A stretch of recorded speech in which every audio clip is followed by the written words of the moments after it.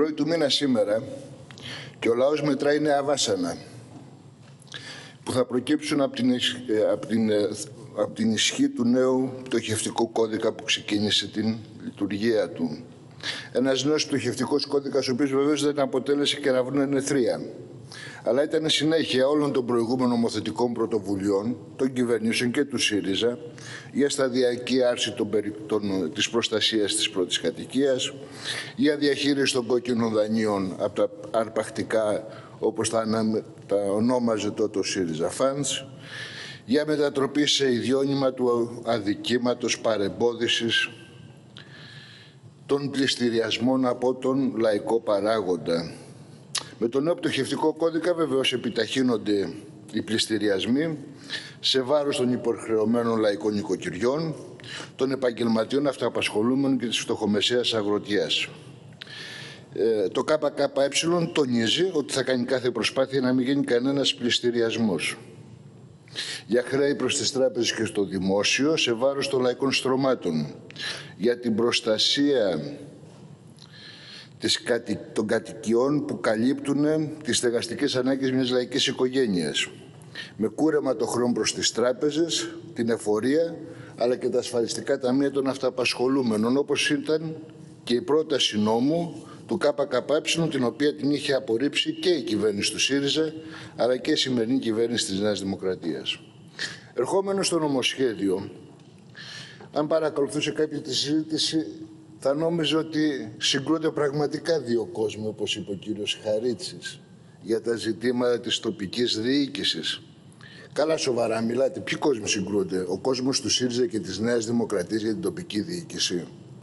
Αλήθεια δεν είναι έργο όλων των κυβερνήσεων Νέας Δημοκρατίας, ΣΥΡΙΖΑ, ΠΑΣΟΚ, ΚΙΝΑΛ, η μείωση της κρατικής χρηματοδότησης προς τους Δήμους και στις περιφέρειες όλα τα προηγούμενα χρόνια. Δεν είναι δικό σας έργο όλων των κυβερνήσεων η αύξηση των ανταποδοτικών τελών, δηλαδή της τοπικής φορολογίας, στο όνομα της οικονομικής αυτοτέλειας που όλοι πιστεύετε των Δήμων και των Περιφερειών. Δεν είναι δικό σας έργο το οικονομικό παρατηρητήριο που ελέγχει τους Δήμους για το πώς αξιοποιούν και πώς οργανώνουν τους προϋπολογισμούς τους. Δεν είναι δικά σας έργα οι ανατροπές στις εργασιακές σχέσεις. Τα οχτάμινα αλήθεια πότε; Σταμάτησαν μήπως επικυβέρνηση ΣΥΡΙΖΑ που ανακυκλώνουν την ανεργία; Η απαγόρευση μονιμοποίησης των συμβασιούχων; Μαζί δεν ψηφίσατε το Σύνταγμα που δεν δεχθήκατε την πρόταση του ΚΚΕ για κατάργηση αυτής της συνταγματικής απαγόρευσης και φωνασκείτε ή οι εργολαβίες που αναπτύσσονται στους Δήμους δεν είναι έργο όλων των κυβερνήσεων. Και βεβαίως είναι λογικό να καλείτε τους Δήμους να προσλαμβάνουν κόσμο μόνο στις υπηρεσίες που υπάρχουν τα αποδοτικά τέλη. Δηλαδή δεν τους πληρώνουν οι ίδιοι, ο ίδιος ο λαός, τους εργαζόμενους που προσλαμβάνουν μέσα από την αύξηση των ανταποδοτικών τελών. Η σύμφυση των Δήμων με τους επιχειρηματικούς ομίλους, η επιχειρηματική δραστηριότητα που αναπτύσσουν οι Δήμοι, το αμφισβήτησε καμία κυβέρνηση όλο αυτό το πακέτο. Η εμπορευματοποίηση των παροχών των Δήμων, ποια κυβέρνηση το έχει αμφισβητήσει και δεν το ξέρουμε. Αλλά και οι αναπτυξιακοί σχεδιασμοί για την υλοποίηση των χρηματοδοτικών προγραμμάτων της Ευρωπαϊκής Ένωσης Όλες οι κυβερνήσεις δεν ήταν με τη λογική της επιλεξιμότητας των έργων. Και άρα οι Δήμοι πρέπει να ενσωματωθούν στις κατευθύνσεις, στις κεντρικές κατευθύνσεις Ευρωπαϊκής Ένωσης, των κυβερνήσεων, των περιφερειών, για υλοποίηση αυτών των κατευθύνσεων που εξυπηρετούν τις ανάγκες του κεφαλαίου. Η βιώσιμη αστική ανάπτυξη δεν ήταν ο βασικός σχεδιασμός για τους Δήμους. Μέσα από τις αναπλάσεις των περιοχών για προσέλκυση επενδύσεων και κύρια στον χώρο του τουρισμού, πετώντας τις κάλενδες ουσιαστικά τα έργα ανακούφισης των πλέον υποβαθμισμένων λαϊκών συνοικιών που στενάζουν στα μεγάλα αστικά κέντρα. Ή τα έργα τα οποία είναι απαραίτητα για την αντισυσμική θωράκιση, την αντιπλημμυρική προστασία, την αντιπυρική προστασία. Επί της ουσίας όλες οι κυβερνήσεις μετέτρεψαν τους Δήμους σε μακρύ χέρι υλοποίησης των αντιλαϊκών πολιτικών Γι' αυτό μιλάμε για τοπική διοίκηση πλέον που εφαρμόζει απαρέγκλητα την κεντρική πολιτική, τους πολιτικούς σχεδιασμούς της αστικής τάξης, της άρχουσας τάξης στη χώρα μας. Και από αυτές την άποψη, οι όποιες αλλαγές γίνανε και μεταρρυθμίσεις, με τα διάφορα σχέδια καλλικράτης, καποδίστριας, κλεισθένης, δεν είναι τίποτα άλλο παρά οι αναγκαίες προσαρμογές στους Δήμους και στις περιφέρειες για να μπορούν να έρθουν σε αναλογία με τις ανάγκες των επιχειρηματικών ομίλων και τη δράση τους. Και βέβαια σε όλα αυτά συμφώνησαν όλες οι κυβερνήσεις και βεβαίως δεν είναι τυχαίο που οι αποφάσεις, η πλειοψηφία των αποφάσεων στους Δήμους και στις περιφέρειες λαμβάνουν με πάνω από το 90% των ψήφων για βασικά ζητήματα. Να λοιπόν πώς επιβεβαιώνεται η συνένεση όλων αυτών των αστικών κομμάτων σε όλο το μεγαλείο. Και άλλωστε δεν είναι τυχαίο, η συνένεση έχει κοινή μήτρα, τις ανάγκες που εξυπηρετούν το κεφάλαιο, αλλά και τον ευρωενωσιακό χάρτη της αυτοδιοίκησης. Αυτά είναι που σας εννοοποιούν. Οι όποιες διαφορές είναι σε επιμέρους ζητήματα για το πώς και με ποιον θα υλοποιηθούν οι αντιλαϊκοί σχεδιασμοί. Και από αυτή την άποψη είναι προσχηματική αντιπαράθεση για το εκλογικό σύστημα. Σήμερα στο όνομα της κυβερνησιμότητας η κυβέρνηση προωθεί σε αντιδραστικές αλλαγές στο εκλογικό σύστημα. Δηλαδή για να μπορέσει να εφαρμοστεί ακόμη πιο γρήγορα και χωρίς εμπόδια και αντιδράσεις η αντιλαϊκή πολιτική. Αφορμή για την αλλαγή στο εκλογικό σύστημα ήταν η νόθα κουτσουρεμένη απλή αναλογική η οποία μας διατήρησε τους απαράδεκτο καθεστώς του εκβιασμού της λαϊκής συνείδησης για να κάνει επιλογή στο δεύτερο γύρο. Ποιον θα επιλέξει για δήμαρχο και ποιον θα επιλέξει για περιφερειάρχη. Έτσι λοιπόν, κύριε Χιονίδη, και η Διαμάντου Μανολάκου αυτό ακριβώς είπε. Μίλησε για την όθα απλή αναλογική του ΣΥΡΙΖΑ, γιατί είμαστε καθαροί σε αυτό το ζήτημα. Και είχαμε τότε καταψηφίσει τη συγκεκριμένη ρύθμιση την οποία έχει φέρει ο ΣΥΡΙΖΑ. Και στα πλαίσια αυτά προωθείται ακόμη και αντιδραστικές αλλαγές. Πλειοψηφικό σύστημα στους Δήμους και στις περιφέρειες, δυσκολίες στο να μπορεί να συγκροτήσει ένα ψηφοδέλτιο, περισσότερες δυσκολίες ολοκληρωμένο και να μπορεί να κατέβει στις εκλογές, μείωση του αριθμού των δημοτικών και περιφερειακών συμβούλων, που επί της ουσίας όλοι αυτοί οι παράγοντες καθιστούν περιττό το 3%. Γιατί ακόμη και μεγαλύτερο ποσοστό σε μικρούς δήμους και σε μικρή μπορεί να μην εκλέξεις ούτε ένα δημοτικό σύμβουλο. Είναι ελάχιστοι οι δήμοι. Μια χούφτα, 5-6 μεγάλοι δήμοι που έχουν μεγάλα δημοτικά συμβούλια που θα βάλει εμπόδιο το 3%. Σε όλους τους υπόλοιπους δεν χρειάζεται. Αλλά παρόλο αυτό το κάνετε, γιατί θέλετε ακριβώς να φράξετε, να παρεμποδίσετε οποιαδήποτε φωνή αμφισβήτησης σε αυτή την πολιτική. Και γι' αυτό ακριβώς κάνει και αυτά τα παράδοξα τερτύπια με τις κοινότητες για να μπορεί να ελέγχεται συνολικά το σύστημα στην τοπική διοίκηση. Έτσι λοιπόν, κατά τη γνώμη του ΚΚΕ είναι βαθύτατη αντιδραστική. Η λογική που διέπει όλα τα κόμματα. Και Νέα Δημοκρατία και ΣΥΡΙΖΑ και ΠΑΣΟΚ και ΜΕΡΑ 25 και Ελληνική Λύση περί ανάγκης μη εμπλοκής των κομμάτων στις τοπικές και περιφερειακές εκλογές. Η κομματικοποίηση λέει φταίει για όλα αυτά τα δεινά. Όμως αυτό ακριβώς προσπαθεί να συγκαλύψει τη μέγιστή σας υποκρισία. Δηλαδή το ότι απαγορεύεται τα κομματικά ψηφοδέλτια σε κομματικά ψηφοδέλτια να κατέβουν στις δημοτικές και περιφερειακές εκλογές. Όμως το βράδυ των εκλογών φροντίζεται να βάφεται το χάρτη της χώρας στους διάφορους δήμους και στις περιφέρειες με τα χρώματα των κομμάτων που υποστηρίζουν τους εκλεγμένους δημάρχους και περιφερειάρχες.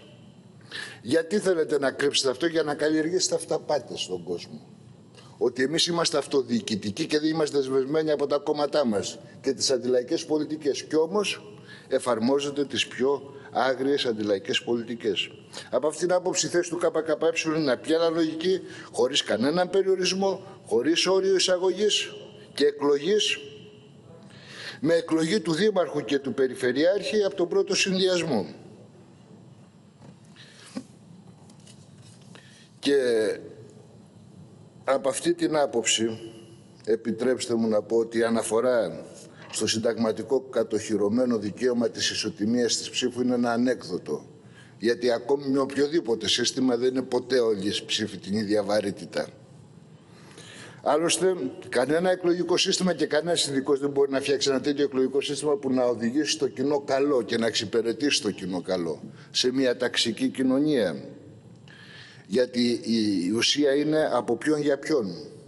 Ή για το κεφάλαιο ή για το λαό. Δεν υπάρχει ενδιάμεση λύση και δεν πρόκειται ποτέ αυτή να εφευρεθεί. Έρχομαι τώρα σε δύο ζητήματα που αφορούν τις τροπολογίες. Η πρώτη τροπολογία είναι για το ευρωπαϊκό πιστοποιητικό.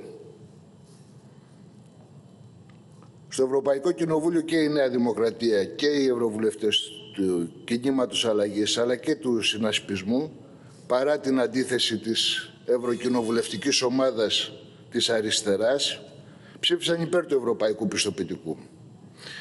Το ΚΚΕ το καταψήφισε όπως θα κάνει και με τη συγκεκριμένη τροπολογία την οποία φέρνετε γιατί αυτό το ευρωπαϊκό πιστοποιητικό δεν σχετίζεται με την προστασία της δημόσιας υγείας, αλλά αντίθετα αποτελεί εργαλείο στήριξης των αναγκών των επιχειρηματικών ομήλων. Και από αυτή την άποψη δεν πρέπει να αποτελέσει το πρόσχημα για να μην θωρακιστούν τα δημόσια συστήματα υγείας, τα οποία δοκιμάστηκαν και στη χώρα μας, αλλά και παντού, σε συστήματα μη ανώσιμου που όπως μετατρέπηκαν, με τις αναβολές τακτικών χειρουργιών σε πολύ μεγάλο ποσοστό. Τη στιγμή μάλιστα που ο ιδιωτικός τομέας της υγείας μετρούσε τα κέρδη του που αυγάταναν καθημερινά. Και σήμερα μάλιστα η ομιλία του Πρωθυπουργού που έκανε για το σύστημα υγείας πυροδοτεί ακριβώς ότι θα προχωρήσει ακόμη περισσότερο στην εμπορευματοποίηση της υγείας που αποτελεί και την ποινή των δεινών των δημόσιων συστημάτων υγείας, τη σύμπραξη δηλαδή δημόσιου και ιδιωτικού τομέα. Δεύτερον, αποτελεί πρόσχημα το πιστοποιητικό για τη μη τήρηση των υγειονομικών πρωτοκόλων προστασίας των εργαζόμενων, για τη μη λήψη μέτρων υγιεινής και ασφάλειας στις μεγάλες επιχειρηματικές μονάδες, γιατί θεωρούνται κόστος. Γι' αυτό άλλωστε μετατρέπηκαν και αυτές οι μονάδες σε αιστείες μετάδοσης του ιού, για τη μη αποσυμφόρηση το μέσο μαζικής μεταφοράς. Η επιλογή του πιστοποιητικού οδηγεί στη χαλάρωση των μέτρων ελέγχου στα σύνορα και στις μετακινήσεις, που ήταν πάγιο αίτημα των μεγάλων πολυεθνικών των αεροπορικών εταιριών, αλλά και των θαλάσσιων μεταφορών, των ξενοδοχείων και των τουριστικών επιχειρήσεων. Τη στιγμή μάλιστα που δεν έχει απαντηθεί από την επιστημονική κοινότητα για το αν ο εμβολιασμός μπορεί να εμποδίσει αποτελεσματικά τη μετάδοση του ιού. Και βέβαια υπάρχουν και δύο ακόμη λόγοι που δικαιολογούν την αρνητική ψήφο του ΚΚΕ. Ότι αυτό το πιστοποιητικό μπορεί να αποτελέσει ένα ισχυρό μηχανισμό ηλεκτρονικού φακελώματος. Ήδη έχουν καταγραφεί μια σειρά εμπορικές συμφωνίες εκμετάλλευσης των δεδομένων. Τέτοια είναι και η συμφωνία της ελληνικής κυβέρνησης με την Παλαντήρ. Μια επιχείρηση με ιδιαίτερα βεβαρημένο μητρό, με τη ΣΥΑ να έχει χρηματοδοτήσει πάνω από 300 εκατομμύρια δολάρια την εταιρεία αυτή και βεβαίως να έχει υπογράψει η εταιρεία αυτή με το Αμερικάνικο Πεντάγωνο συμβόλαια ύψους αρκετών δισεκατομμυρίων δολαρίων. Και επίσης για το λόγο ότι αποτελεί πεδίο το πιστοποιητικό αυτό εκδήλωση των ανταγωνισμών των γεωστρατηγικών για το αν θα συμπεριλαμβάνονται εμβόλια και από άλλα κράτη όπως της Κίνας και της Ρωσίας. Και τέλος για την τροπολογία για τη στέρηση πολιτικών δικαιωμάτων Αναφερθήκαμε και το πρωί. Το ΚΚΕ ζητάει την απόσυση της τροπολογίας.